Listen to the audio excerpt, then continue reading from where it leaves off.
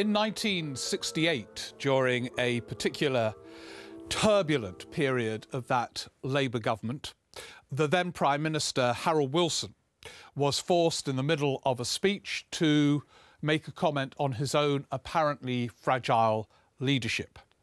And he looked up to a big audience and said, You may have been wondering over the last few days what's been going on.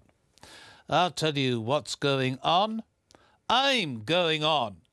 And at that point, there was a big applause from the audience. And Wilson had dealt with wit in a way that other leaders should take note of uh, the question of his own future. The focus of the turbulence in terms of the leadership was Roy Jenkins.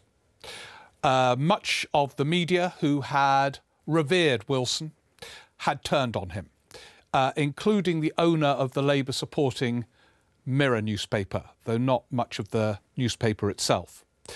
This often happens in politics. Uh, Wilson was one of the few Labour leaders to get a good press, even from Conservative supporting newspapers. But after the devaluation of the pound in 67, uh, he was turned on. And they looked elsewhere. And journalists and some newspaper owners, and significantly a part of the Labour Parliamentary Party, looked to Roy Jenkins. And you could see why. Roy Jenkins, by 1968, had become Chancellor. He had already been a reforming Home Secretary, as we'll look at in a moment. And as Chancellor, after the trauma of devaluation, devaluation traumatises prime ministers and governments. He had stabilised things. Uh, the economy had become relatively stable. He was an orthodox chancellor. He took some tough decisions on public spending and interest rates, um, but things were stabilised.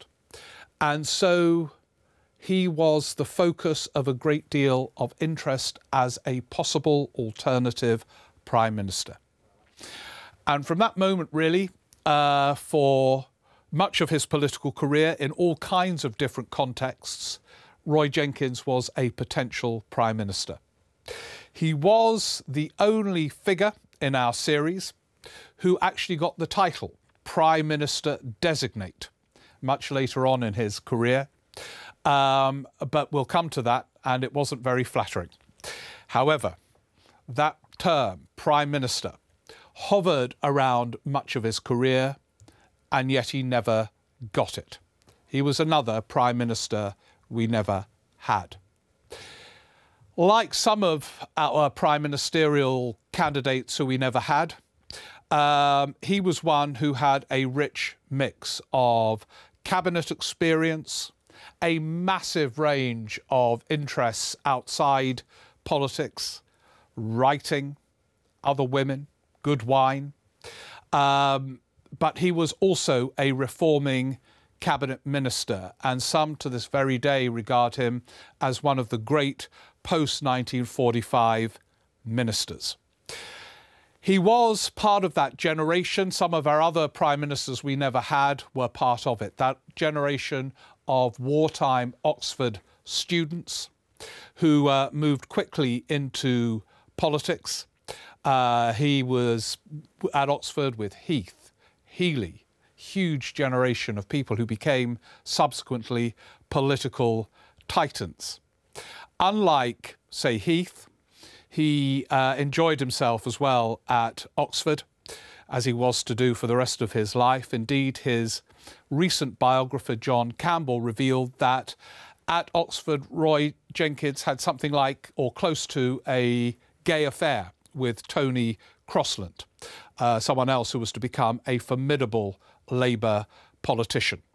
Uh, but Roy Jenkins also uh, pursued women as well and uh, continued to do so even when he was married. He was a writer. Uh, there were few prime ministers we never had who wrote as voraciously as Roy Jenkins. He was, from an early age to the very end almost, a brilliant political biographer. His early biographies were of prime ministers Asquith was uh, one which made a mark early on. He wrote about Lloyd George, another liberal reforming prime minister, which established Jenkins really as a Labour liberal. Uh, in some respects, a combination that was to become significant later on in his career. But it was as Home Secretary in that Wilson cabinet that Jenkins made his historic mark. He was a great reforming Home Secretary. And it's interesting when the history of the 60s is written, you hear a lot about the Beatles and all the kind of rock groups that were evolving in extraordinary ways in the late 1960s. But in terms of impact on people's lives, you have to look at Jenkins. He was the one who created the space for David Steel's private members' uh, bill on abortion, uh, making abortion permissible and much more widely available. He uh, was the one who decriminalised homosexuality. He ended quite severe censorship in theatres. He was a reforming Liberal Home Secretary, sometimes against the instincts of his small c Conservative Prime Minister Harold Wilson. Um, but Wilson, to his credit, gave Jenkins the space to get on with it. And it took a lot of focus and it took a lot of challenging of orth- orthodoxies to get this legislation on the statute book. And he did it. And after that, he faced the challenge of being Chancellor um, in the trauma of the post devaluation era of that Labour government. And there, as I said earlier, he took a more small c conservative, cautious approach, but established in his relatively short time in the Treasury a reputation for what Gordon Brown would later call prudence. And when a Labour government acquires a reputation for prudence, it tends to win elections. Against expectations, Labour lost the 1970 election. And indeed, some blamed Roy Jenkins for um, not being freer with the money, uh, to, as chancellors often are in the build up to that uh, a, a general election of any sort. I suspect that wasn't the reason why Labour lost, but that kind of hung around him a bit in the opposition years that followed after that 1970 defeat. After that defeat, Roy Jenkins focused on one issue. And in doing so, I think doomed his chances of ever becoming a leader, whilst reinforcing the adoration of a group of parliamentary followers. He was at this point deputy leader of his party. And he became the first of our prime ministers we never had to fall over Europe. It's seen often as the fate of various Tory politicians not to become leader over Europe, but this was a factor in why Roy Jenkins never got the crown. It wasn't the only one by any means, but it was a significant one. Jenkins was a passionate pro European. And at that time, most in his party were against. The shadow cabinet were split, uh, but the party membership was largely against. And Harold Wilson, like Jeremy Corbyn in the modern era, had to duck and weave to keep his party together. And Wilson took the decision to vote against Britain's membership of the then Common Market in the House of Commons. The key vote was in the autumn of 1971. Now, Wilson's own views were opaque, rather like Theresa May's as she navigates Brexit. I suspect that privately Wilson worked on the assumption that one way or another Britain was going to sign up to the common market, but he had to keep his party together. And at that point, he took the decision that to vote against was the most appropriate course available to him. Roy Jenkins could not stomach such a three line whip and defied it. He voted in favour of Britain staying in uh, or going in then the Common Market, as it was then called. And a group of devoted followers, also passionate pro Europeans, did the same. And Roy Hattersley, who was a devoted Jenkinsite, uh, wrote later that in retrospect, it was on the evening of that vote that the formal schism of the Labour Party that was to come began to take shape. But for Jenkins, it doomed him, really. Uh, he then became an opponent of the leadership on the key issue of that era, as it is of our modern era, Europe. He remained passionately in favour and made clear when Harold Wilson, in order to keep his party together, like David Cameron, offered a referendum on Britain's membership, that he would campaign passionately in Britain staying in. Jenkins, like some of his followers, was around this time becoming deeply disillusioned with the Labour Party. Another reason why Jenkins never became leader of the Labour Party and Prime Minister in that context was the Labour Party was moving to the left. Jenkins was a social democrat, as I mentioned earlier, of a sort of liberal hue. Um, and the Labour Party was moving much more to the politics of Tony Benn. Um, Tony Benn, who came to torment Roy Jenkins later on. And so, in a way, whatever Jenkins had done over Europe, he would probably have never been elected by the Labour Party as it was moving as Prime Minister. There was another reason, it's an interesting one, it's been put forward by the former Labour MP Giles Radice in a book, which is that Labour's Social Democrats could never get their act together. Whenever it appeared that there was a potential vacancy in the leadership, or a cause which might generate a challenge to Harold Wilson, who hung around for many years after 1968, the Social Democrats could never coalesce around one figure. Denis Healey wanted the leadership. Tony Crosland wanted the leadership and was deeply offended when some Labour MPs backed Roy Jenkins in 1976 when there was a contest rather than him. And so at any point, the three of them could not say, right, we're going to back Roy Jenkins, or we're going to back Tony Crosland, or we're going to back Denis Healey.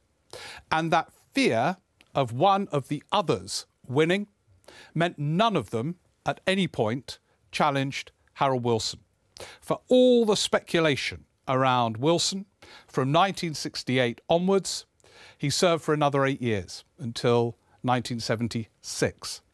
And so that too was a factor.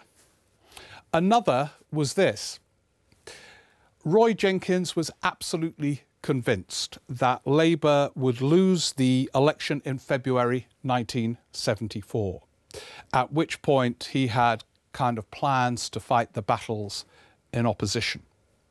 But instead of losing, Harold Wilson won, also against his own expectations. He only just won, he had a few more seats than Ted Heath, became Prime Minister. And Jenkins, to his bewilderment, really, and not his excitement, uh, found himself in a Labour cabinet again. He was made Home Secretary. But this period was darker than that glittering, reforming Home Secretary era of the uh, mid 1960s. And Jenkins didn't like it very much. He had to deal with the IRA, terrorism, he didn't approve of much of what this minority Labour government was doing and leapt at the chance of heading off the, for Europe. He became president of the European Commission, which you would have thought would have satisfied him fully and to some extent did. And at that point, you would have assumed that as a prime ministerial figure, Jenkins' career was over. He was leaving domestic politics. But Jenkins' appetite for politics was undimmed by his move to Brussels, much as he enjoyed much of his time in Brussels and the good wines and the conversations and the politics, actually. Um, he always kept one eye on what was happening in the United Kingdom.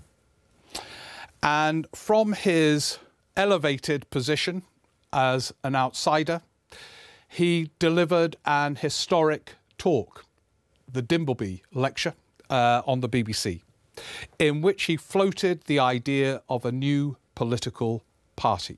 This is in the United Kingdom. And at first, not much happened. Oh, there's old Jenkins, you know, fantasizing from his perch in Brussels about what's going to happen in British politics. He left it long ago. But slowly, the pebbles that he had thrown into a pond became a turbulent sea. And the SDP surfaced in 1981, and Jenkins became its leader. And at this point, it's hard to believe now, given what followed. There were many people who thought that the SDP would, in the words of Roy Jenkins, break the mould of British politics forever. There, for a time, such was their novelty combined with weightiness, and it's the two that matter. Uh, they were way ahead in the opinion polls for a time. Uh, they were at one point uh, in the build up to the 83 election on kind of 46, 47%. They were winning by elections or almost winning unwinnable seats. Jenkins himself fought the Warrington by election in 1982, a safe Labour seat. He didn't win it, but he almost did. And he said on the night of the by election, uh, I've had many victories. Tonight I've lost, but it's the biggest victory in my political career. And he was right in a way. It showed that the SDP was making waves in ways that um, were remarkable. But then something rather humiliating happened to Jenkins. And it's an interesting reflection on how fast the mo- media moves. In the build up to the 1983 general election, SDP figures, David Owen, who had a kind of charisma uh, and a weightiness himself, and many others from the Liberal side, David Steel, who was very close to Roy Jenkins, worried that Jenkins wasn't right for the modern media, the campaigning techniques of the modern media.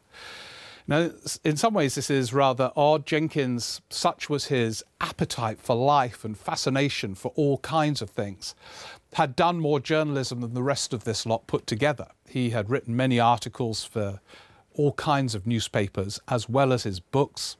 He had appeared in all kinds of TV series.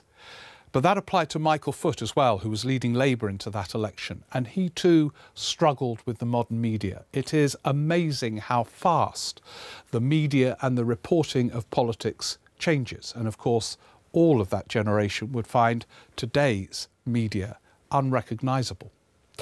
And so the SDP Liberal Alliance came up with what they thought was a clever formula, but was actually clunky and exposed the fact that this project um, that appeared to be taking all in its stride was very fragile. They made David Steel leader of the election campaign and made Roy Jenkins Prime Minister designate. The implication being he would keep a lower profile in the campaign, but if they won, which there was no sign they were going to by this point, he would be Prime Minister. So once more, Jenkins was seen through the prism of a potential Prime Minister, though, as I mentioned earlier, a rather less flattering one. It was never to be. There is a view that Margaret Thatcher's decision to fight the Falklands War was the nail in the coffin for the SDP, and there's no doubt that played its part, but it wasn't decisive. The SDP was doomed from the beginning. When Roy Jenkins and others failed to persuade one of our other prime ministers we never had, Denis Healey, not to defect. When they failed to persuade Roy Hattersley not to defect, and Roy Hattersley, as I mentioned earlier, adored Roy Jenkins. The SDP project was doomed. Jenkins was doomed never to be Prime Minister. For this reason, the anti Tory opposition was split And Labour was never going to die when Healey, Hattersley, and others were continuing to fight within Labour. And so it was. Jenkins fought his only campaign as sort of leader, Prime Minister designate, in 1983, and it was quite a troublesome campaign. At one point, David Steel had to call him up for a summit. It was called the Ettrick Bridge Summit. That's where Steel lived, uh, to say, come on, we've got to liven this campaign up. And Jenkins agreed to take a lower profile. It was humiliating for him. And he stood down after the 83 election. David Owen became the leader. And that was going to be his last chance, not, as I say, by the end, that it was much of a chance to be Prime Minister. But Jenkins' influence continued to be great uh, for one reason, and that reason is in the name of one person, Tony Blair. Blair became leader of the Labour Party in 1994, and he looked at the senior Labour figures still around. Jim Callaghan, a former Prime Minister, was still very much around and several other figures from the Labour governments of the 60s and 70s. And he turned to one for advice, uh, to the disappointment and sadness, I think, of Jim Callaghan and others. He turned to Roy Jenkins. And Roy Jenkins, for a time, became Blair's mentor almost. Jenkins said to him and gave him a kind of history lesson because by then Jenkins was great historian of the 20th century in British politics and said, look, the reason the Conservatives have won so many times is that the progressive wing of British politics has always been split, and your role is to bind it. And for some time at least, Blair believed in that and spent as much time in the presence of the leader of the Liberal Democrats, Paddy Ashdown, as he did with much of his own front bench and they talked a lot about the realignment of British politics. And Jenkins was the elder statesman of this project. Blair also asked Jenkins to write a proposal for electoral reform. Now, this all seems absurd now. Uh, we know what happened. The report that Jenkins composed was never put to a promised referendum. The landslide that Blair had won in 97 narrowed the scope for a referendum on electoral reform, which was loathed by much of his party. And Blair himself, I think, was never actually in favour, though he didn't say that to Roy Jenkins. But at the time, 97, 98, the Jenkins project seemed immense, of great historic significance. He toured the country explaining his plans for electoral reform and, given that it was Jenkins, wrote a very elegant proposal for electoral reform. Uh, if you could make electoral reform interesting, he did. Uh, his prose could be leaden at times, but it sparkled oddly on the dry sub- subject of electoral reform. And Blair agonised about what to do with this proposition and decided in the end to let his new friend down. He never held the referendum. So Jenkins' time didn't lead to that historic realignment, but he became a bigger player than some of those who were former prime ministers. He also showed that in your post political career life, your post prime minister you never had life, you can continue to contribute in different ways. He, um, when he had more time, uh, continued to have a great deal of fun. He ran Oxford. He kind of continued to play various sports and have incredible social life and enjoy good wine from fairly early in the day. I don't know how he did it. I once went to see him at 11 o'clock in his office in the House of Lords and I thought he'd offer me a cup of coffee. He offered me a huge glass of very good red wine. I assume it was the first of the day. But for someone who knocked back really good wine for much of the day and evening, he was incredibly productive.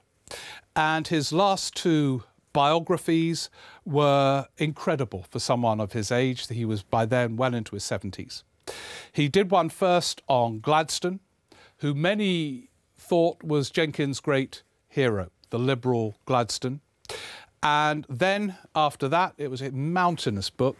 Um, he did one on Winston Churchill. And what made both books interesting, apart from the fact that he was able to produce them, um, was the fact that he put it in the context of his own experience of a politician.